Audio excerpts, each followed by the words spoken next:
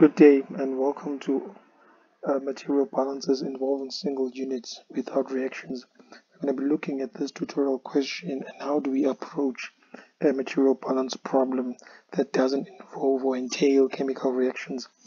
Uh, so this one is straight to the point. It's actually a mixing problem. As you can see it's written mixing. So let's go through the statement and then see how do we solve the problem.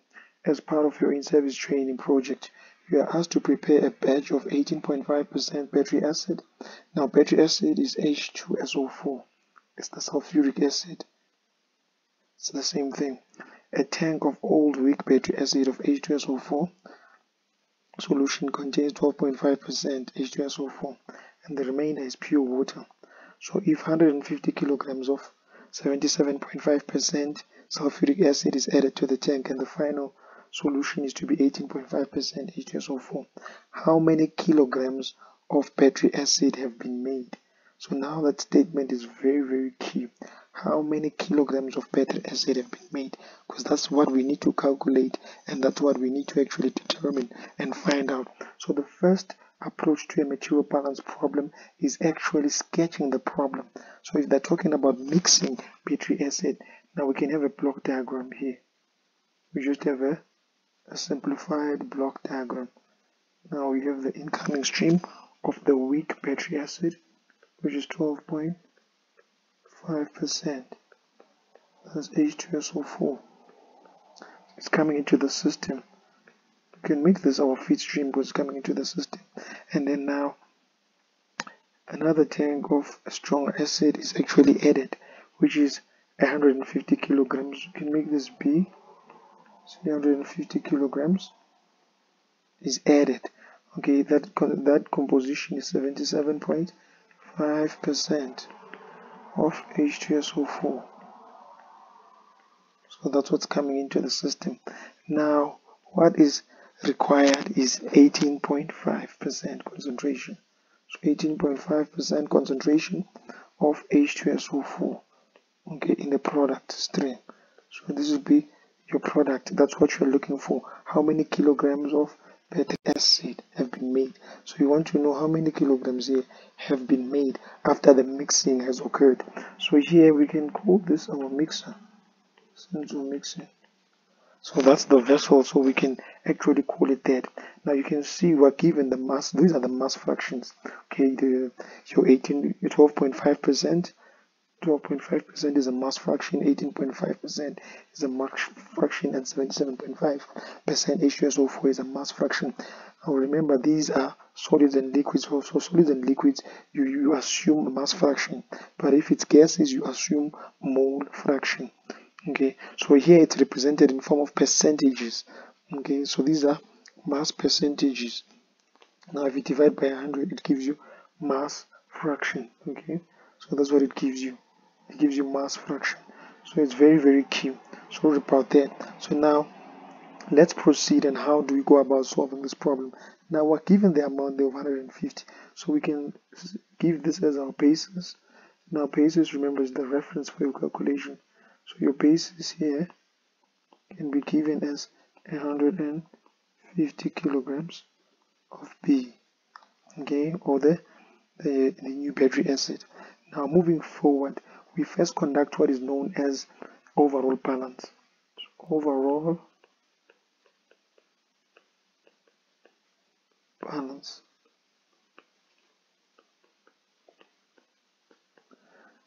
Remember, this is material balance. Now, how do we do that? We look at what's coming into the system and what's leaving the system. So you can see here now that we've got F coming into the system and we have B coming into the system then P is leaving the system, which is the product. So we're going to have F coming in plus B coming in equals to P leaving the system. Simple as that. So now F plus B gives us P. And we have B, so we can say F plus 150, replacing B, is equals to P, or equivalent to P. Now, once we've done the overall balance, we can go and because this is the car that we're looking for P, the product. So we can go and conduct what is known as the component balance. Component.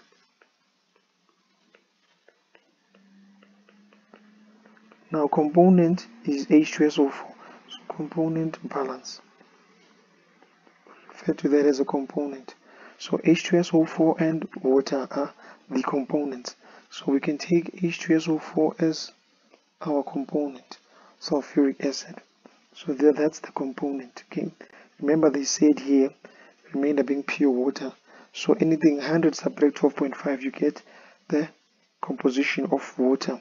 100 subtract 77.5 you get the composition of the water. The same thing applies here. 100 sub subtract 18.5% you get the composition of water. But it's easy, we can just use that and get the composition of H2SO4 because that's what we're using. So H2SO4, how do you conduct the component balance? So now what we're going to do, we're going to go X, composition is represented by X in F of H2SO4. That's how we write out the composition. Multiply by F plus X, which is the composition of H2SO4 in B now. H2SO4 in B, okay, which is the 77.5. And then now you've got B here is equivalent to the last one is X, P, H2SO4 multiplied by P. So this is our component balance. This is our component balance now. This whole expression, call it the component balance. Now we can substitute in this equation because we know the values. Now we know that the compo composition in F is 12.5, which is, we can write it in mass fraction, which is 0. Point, in fractional form is 0 0.125 multiplied by F plus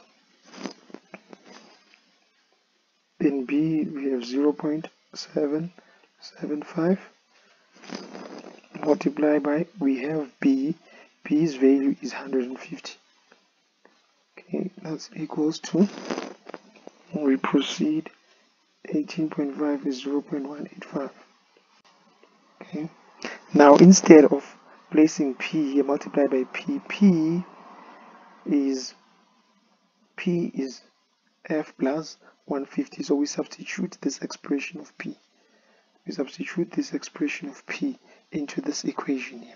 So instead of writing P, we're going to write F plus 150. Okay, then we just proceed. And then, uh, since we've got only one unknown here, which is F, F simplifies um, to be 1475 when you calculate it. Okay, uh, 1475, that is 1475 kilograms. Okay. Now since we found f now from this equation p equals to f plus 150 we can now we can now actually substitute to get what we're looking for which is the p. How much is p? So 1475 plus 150 then we can get the kilograms of p which are the kilograms that are produced that simplifies to uh, 17